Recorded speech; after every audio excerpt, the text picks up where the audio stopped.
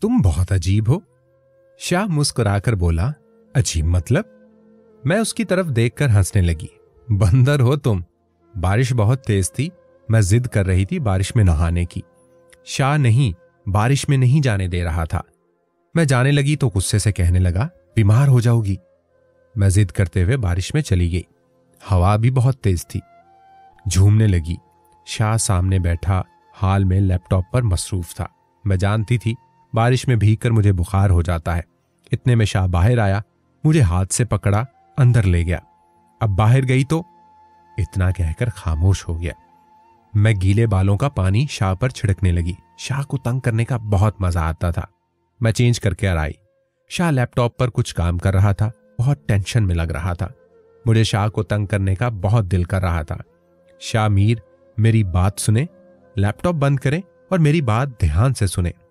मैं तंग करते हुए बोली, शामीर ने काम करते हुए कहा, तंग ना करो, मैं ज़रूरी काम कर रहा हूँ। मैं मन में मुस्कुराई, फिर जल्दी से लैपटॉप का स्विच बंद कर दिया। शामीर खामोश रहा, फिर मैंने कुछ उल्टे सीधे बटन दबाए। न जाने कैसे लैपटॉप की स्क्रीन बुझ गई।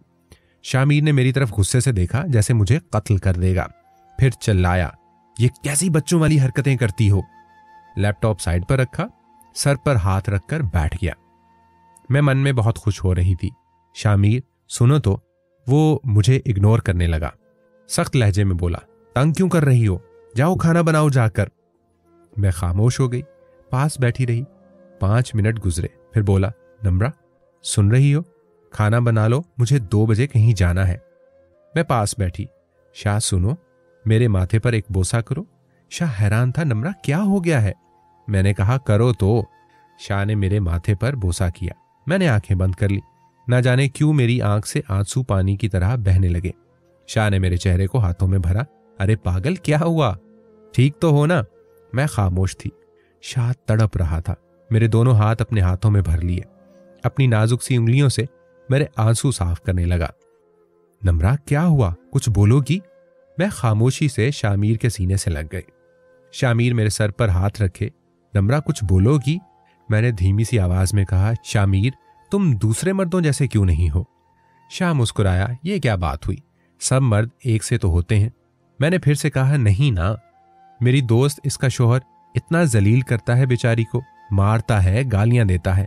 मेरी दोस्त तो कितनी बार खुदकुशी की कोशिश कर चुकी है, जबकि वो बेचारी है भी बहुत खूबसूरत और मैं सामली सी। फिर भी मुझे आप बहुत प्यार करते हो, मेरी इज़्ज़त करते हो, मेरे नखरे, मेरी गलतियाँ सब कबूल करते हो। मैं थक जाऊँ तो सीने लगा लेते हो। शामी ने लंबी सांस ली। मेरी पागल, जो मर्द सब एक से होते हैं, बस कुछ जाहिल मर्द औरत को इज़्ज़त देना अपनी तोहीन समझते हैं, औरत से प्यार से बात करना अपनी अना में फना करते हैं। ऐसे मर्द बहुत बदबख्त होते हैं। शाह ने मेरे हाथ को अपने सीने पर रखा और बोला, अब जाओ, वज़ू करो जाकर, नमाज़ का वक्त हो गया है। मैं वज़ू करते हुए शाह की मोहब्बत को अपनी आँखों की आगोश में छुपाए, खुशी से झूम रही थी। नसीब वाली हूँ एक हकीकी मर्द की शरीक हयात हूँ। शामीर मुसल्ले पर खड़ा नमाज़ अदा कर रहा था, जो मेरी कुल कायनात है, और मैं इनको कहती थी, तुम मेरी जन्नत के फरिश्ते हो, जिस पर शाह मुस्कुरा दिया करता है।